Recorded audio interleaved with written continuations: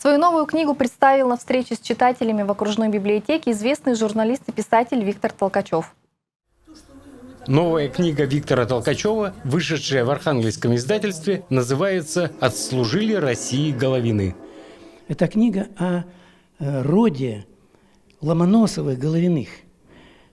Э, от его э, крестьянского корня, крестьянская ветвь Евсея Головина, который еще при жизни Ломоносова племянником его поступил в академию, в семинарию, потом 34 года трагически, в общем, погиб, и восемь поколений до сего еще живы, девятое поколение этого рода.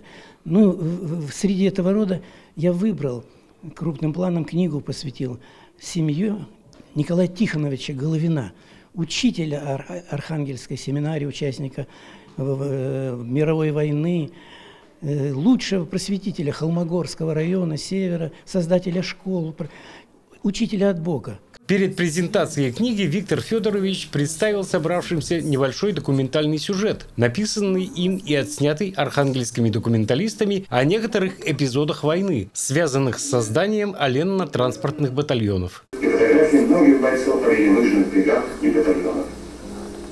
Николай Левков, Анатолий Рожин, 你说。Затем работники библиотеки рассказали о творческом пути Виктора Федоровича, вспомнив первые большие книги автора «Священные нарты», «Звени Тиньган» и другие, написанные им по материалам, собранным в бытность работы киномехаником «Красного чума» и журналистом окружного радио. Сам Виктор Федорович рассказал, как ему пришла идея новой книги, с чего начиналось очередное исследование и сбор краеведческого материала для нее. Четыре строчки. Встретил Головин, учитель, Заврано, директор школы, первый директор первой средней школы в Холмогорах, директор, создатель там, э, Кайдакури в Мажигорах.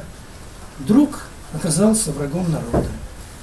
Арестован был и 50 свой, как антисоветчик Э, был присужден к пяти годам ГУЛАГа. В Талагах он сидел и погиб в Талагах. Мне настолько эта история потрясла. Сейчас, по словам литератора и журналиста Толкачева, в Архангельске, где он проживает, за письменным столом его ждет еще большая работа, с которой в недалеком будущем он, конечно же, познакомит всех поклонников своего творчества в один из последующих приездов на Ринмар.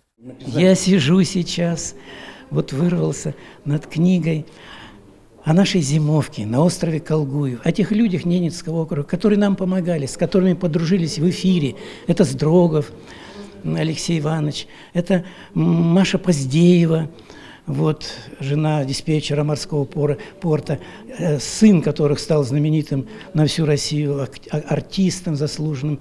Вот книга о Колгуеве и зимовке нашей. Здесь много будет округа Ненецкого, моей творческой родине. Андрей Чуклин, Владислав Носкин, телеканал «Север».